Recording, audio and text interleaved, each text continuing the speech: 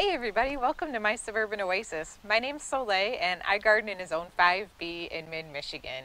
To everybody who's a new subscriber, welcome. I appreciate you so much joining my channel. It's a great place to exchange lots of information about plants and we share all sorts of things in the comments, so feel free to chime in anytime. I love it. And I try really hard to respond to everybody's comments as much as I can. Um, it's getting a little bit harder as there's more of you, but I certainly enjoy um, the banter, so I hope that we can continue to do that. All right, well, I have a really exciting video for you today. I have a clearance plant haul. And so because of that, um, and because of some of the questions I've gotten from you, I thought we'd do something just a skosh different and start this one off by telling you a little bit about how I choose a plant from clearance and why I chose these.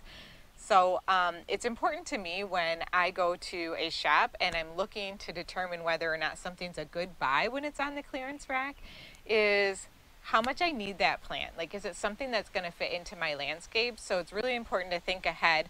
Some of the holes that I might want to be filling, some of the plants that I might want to replace, or some of my future plans that I might have around swapping out plants. That way, when I buy something, if it's on clearance, it's still a good deal because I know I'm going to use it. Um, it doesn't always mean that I have space in my garden for it, but it does mean that it's something that I really like and I plan to find space or I have an idea of where it's going and I also have a space that I know is a good site for it. So I know it will go with the uh, soil that I have, I know it will go with the amount of light that I have, and I know it's going to fit in my growing zone and whether I'm going to use it as an annual or as a perennial. Another thing that I look for um, when I am searching for new plants is to look for whether or not there is new growth on something. So for example, on this first plant that I got, I'm going to show you, is a Lenten Rose. This is a hellebore. For those of you who follow my channel, I absolutely enjoy hellebores a lot. And so you can see some of these smaller new growths that are happening in the inner circle here. Now, it can be a little bit trickier on some other plants, so I'm going to find another one for you just to show.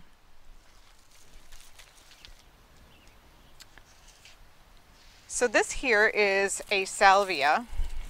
I'm going to grab a different one here just so I can get a good, a good look in. This is a salvia, and what I want to show you here is that there is some new growth in the middle along with some blooms that are just getting ready to bloom. So it may be just as small as some small green growth at the bottom of a stem. And that tells you that it has some good root system going on.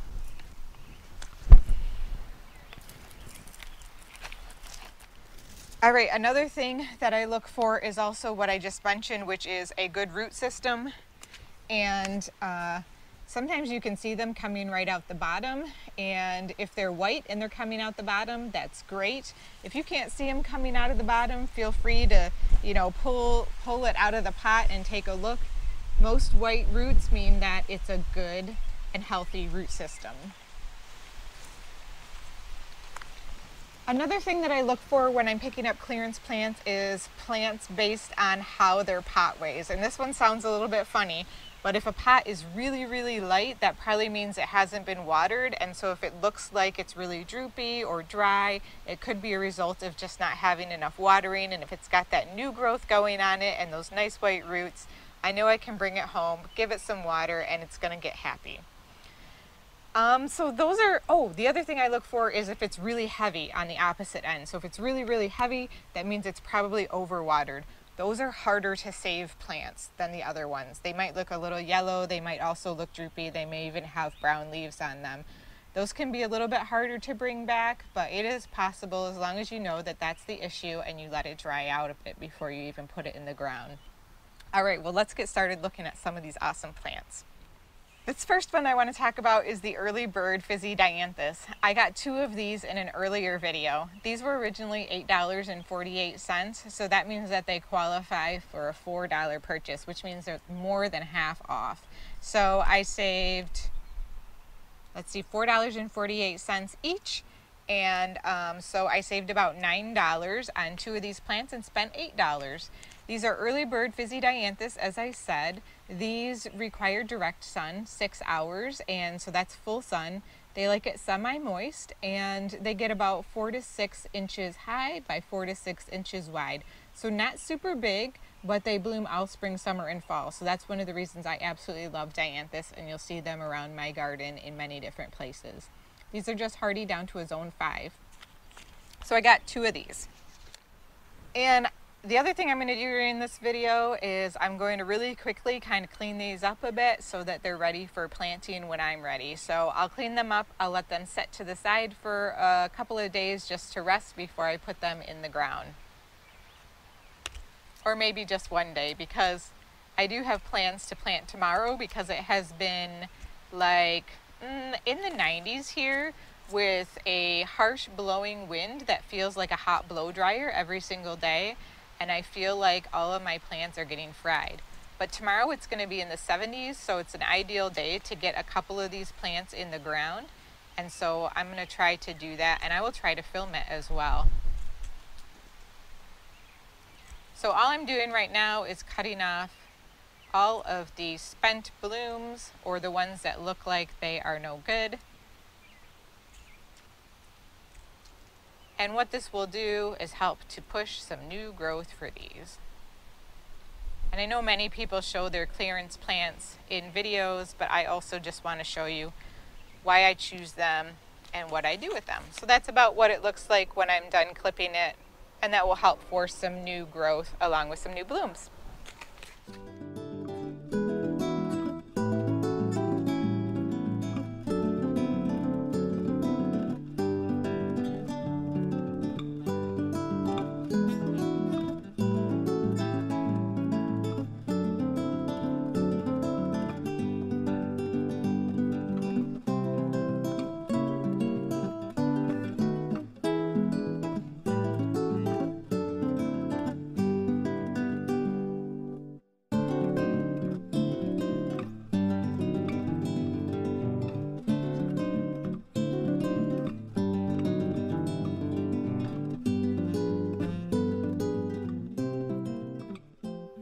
Let's talk about this hellebore now.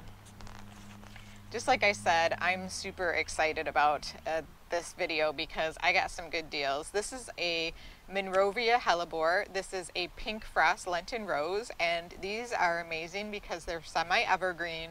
They have really beautiful foliage as you can see.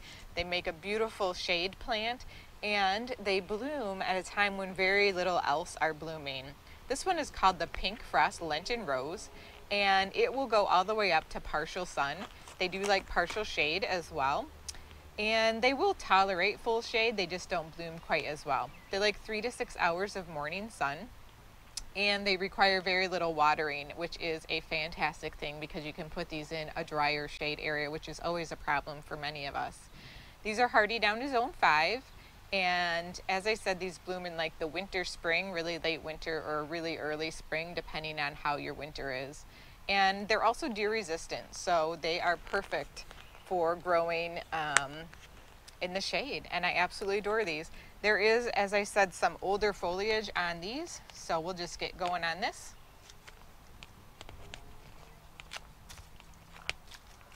All I'm doing is clipping off the big older foliage on the outside of the plant. And that's going to give this new foliage all the energy that it needs to push out further and look fantastic. Now we'll just clean up the rest of them.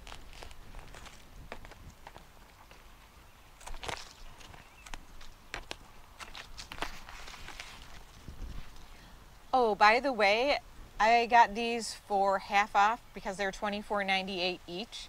So Normally that's a pretty average price for hellebores, especially if you buy them in mail order, but they are often much smaller than this and aren't really well established because hellebores, hellebores grow really slowly. So this was a great deal because I got them half off, so about $12.50 each. So fantastic.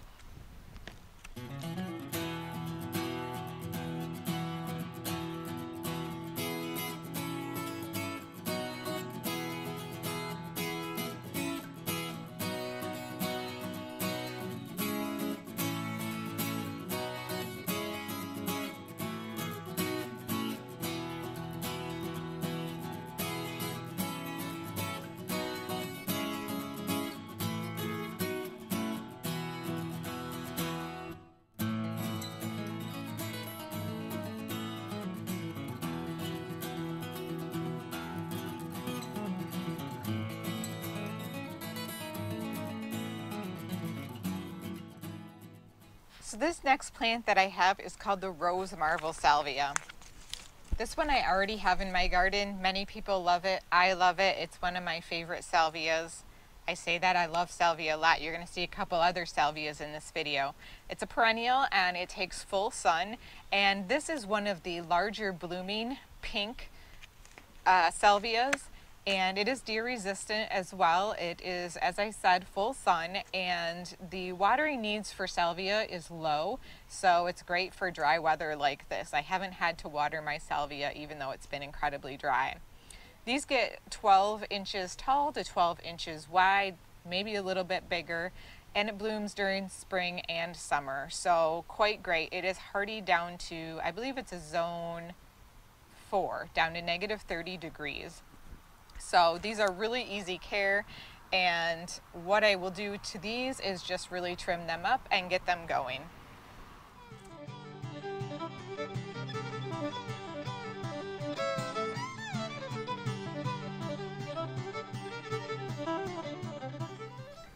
Some of this trimming looks drastic, but I'm telling you this is what's best for the plant. And you've seen my garden if you've watched any of my garden tours and you know most of those plants I bought on clearance. So that's what these look like when I rehab them and feel confident about the fact that I'm telling you that these will rebound really nice.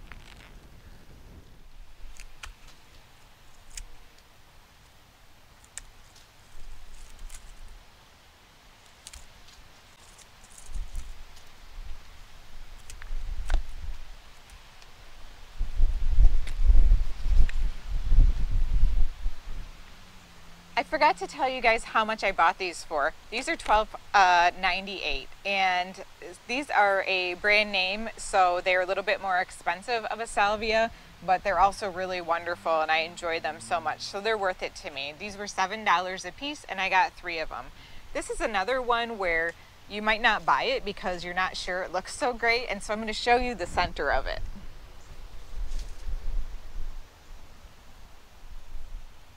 All that tiny little growth is just waiting to burst forth with life.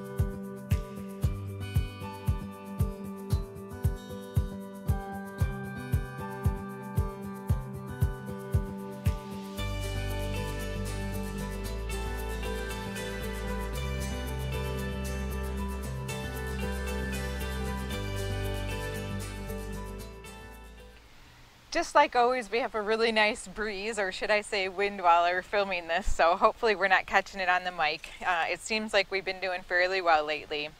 So we have another salvia to share with you. Uh, this one was $4.98, so that meant it was in the tier that is actually only $2. So that's a really good deal for a salvia. This is New Dimension Rose Salvia.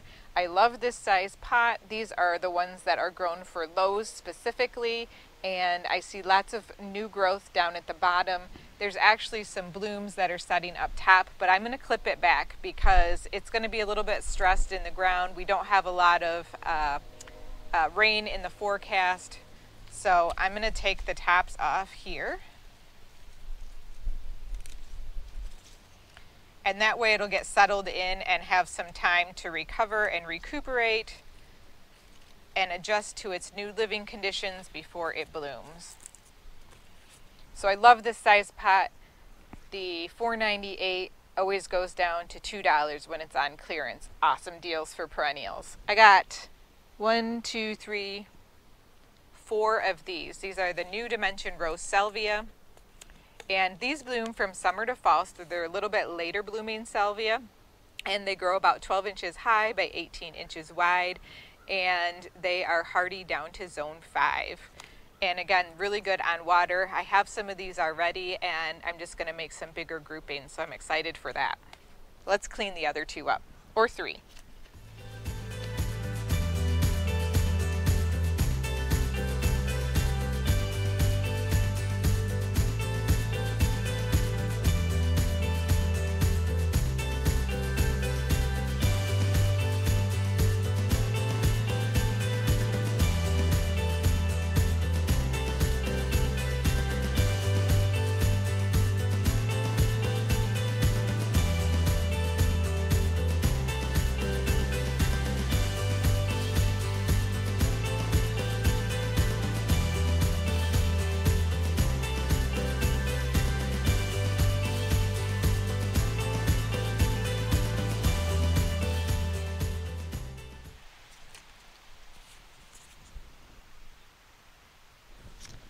All four are done. And so what we'll do um, is in the future, we'll actually follow up with you so you can see some of these plants. And um, you know, I always do garden tours, so you'll be able to see how they're coming along. It's gonna be great. We might even do a special tour that's just dedicated to clearance plants, which again would be almost my whole entire garden.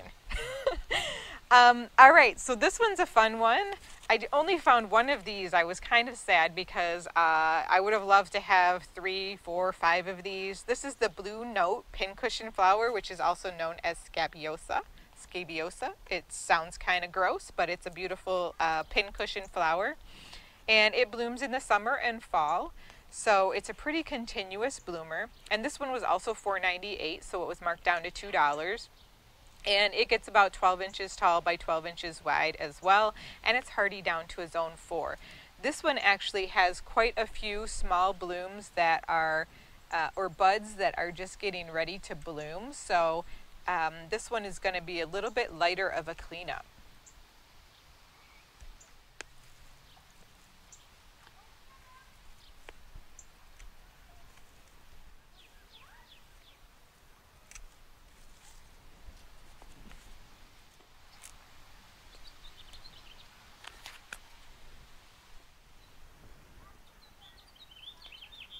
So one of the other things that I'll tell you right now is that because we've had a lot of wind and it's been hot, it's going to be really hard for nurseries and big box stores to keep up with their watering. So probably in the next week or two, you'll see a lot of clearance plants put out and they'll be put out basically because they've been overheated and underwatered. So um, a good time to go check out your stores in the next week or so. Maybe even in the next few days, depending on what the temperatures in your area have been. You've seen I've gotten these before.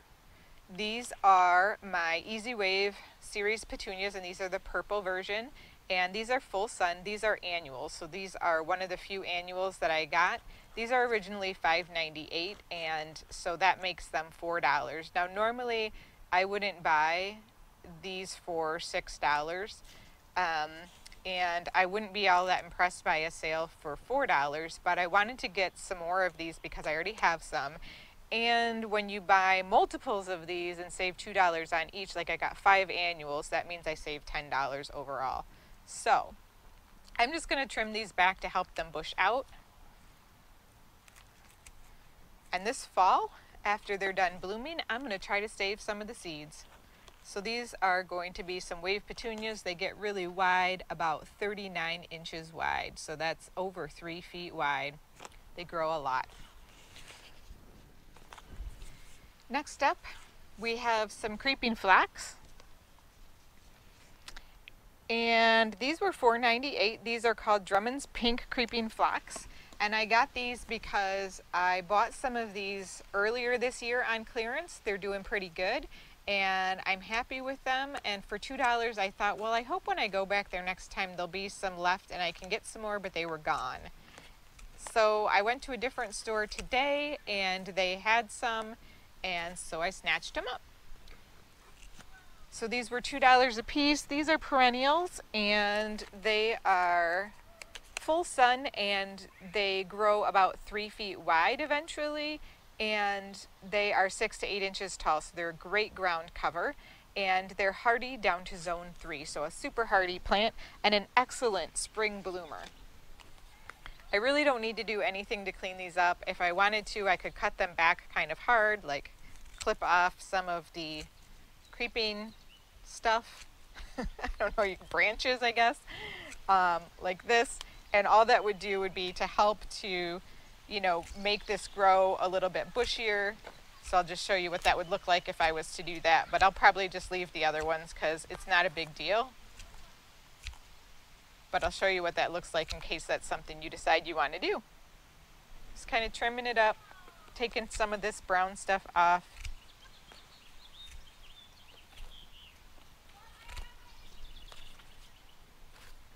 And then that just really forces some nice new green growth and the other ones that I have are growing really well.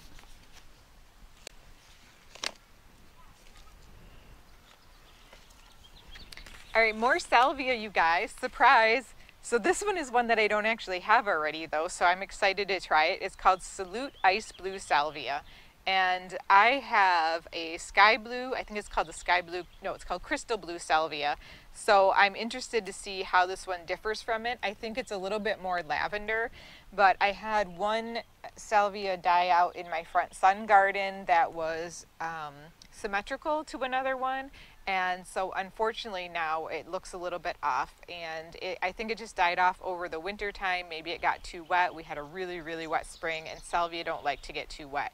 So I'm going to um, dig up the one and replace uh, and put these in place of both of those. And this was $7.98. So again, a really good deal for salvia because that means that I walked out of the store with each of these for $4. So basically like half off. And uh, obviously they don't look good, which turns a lot of people off. And you can see I'm having to do a little bit of work here. But for me, it's worth it because I don't know about you, but I garden on a little bit of a budget. Try not to spend too much. I end up spending more than I want anyways, so might as well do it on a deal.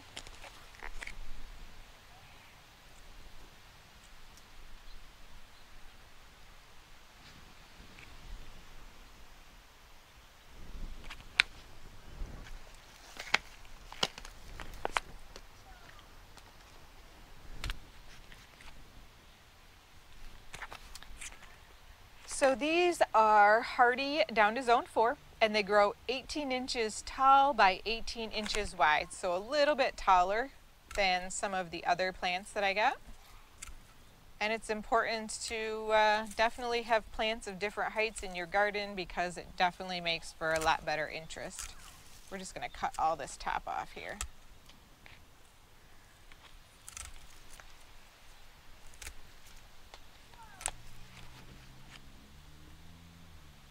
And I'm going to show you the inside of what this looks like.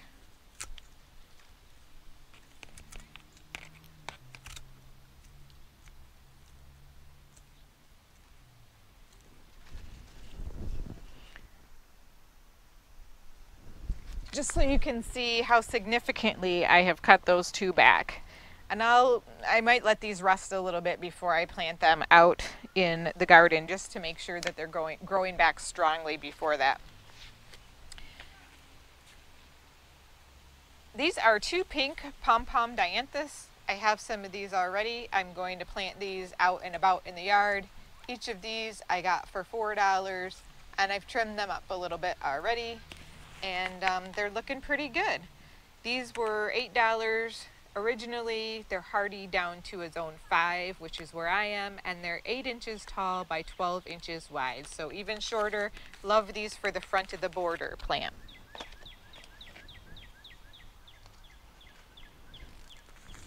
Next up, two annuals. These are Scaevola. These are called Whirlwind Pink Fan Flower. Uh, originally $6, so they are $4. $4 for a 4-inch annual is not fantastic, but it's all right because it's what I wanted and it's better than $6. And like I said, I got five annuals, so I got $10 off. So I'm just going to snip off some of the broken branches and trim them back a little bit because they're a little bit leggy. That will help to push some growth out from the center. And voila. Looks pretty healthy, doesn't it? You just can't see the blooms. But these are really gorgeous annuals to have.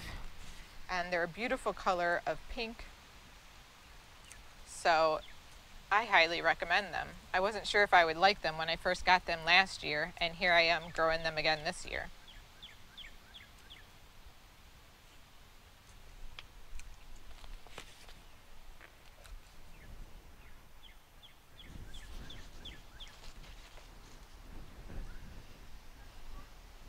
Well, I think I've covered all the clearance plants. The only thing that's left for me to show you is the two plants that I bought that weren't on clearance. I went to Walmart and I found nothing that was on clearance. Somebody suggested I try it, but we don't really have a very good plant selection there in my area. So um, I was excited though to find these penstemon. Aren't these gorgeous? They are called Beard Tongue Red Riding Hood and they attract bees, butterflies, and hummingbirds. And I actually don't think they really look red.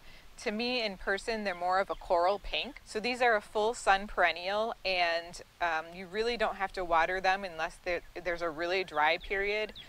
Uh, I have some other penstemon like this in my garden. They're called Pristine Blue. They're just a different color and I like them a lot so far. So I thought I'd pick these up. They were $8.48, which I thought was a fairly decent deal.